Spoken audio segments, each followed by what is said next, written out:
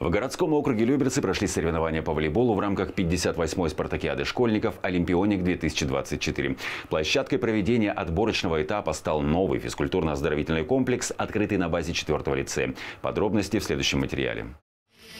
Сегодня в спортивном комплексе «Лидер» не только воспитанники лицея номер 4, но и учащиеся трех гимназий – 16, 18 и 44. Команды по волейболу сборные. В них состоят ученики средних и старших классов. Перед тем, как выйти на эту площадку, все спортсмены прошли тщательную подготовку на базе своих школ. Именно в этом виде спорта у меня очень много достижений. Я могу в нем себя развивать, показывать себя, прогрессировать.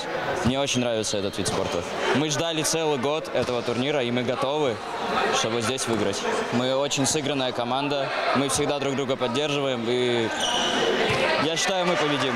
По Люберецкому городскому округу у нас существует три группы. Мы делимся по количеству обучающихся в школах.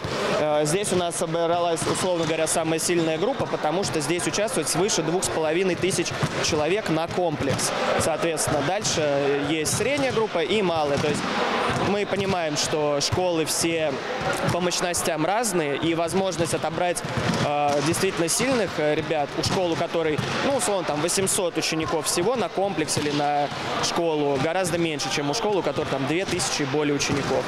У нас э, три группы, в каждой плюс-минус в районе 12 школ участвует стабильно.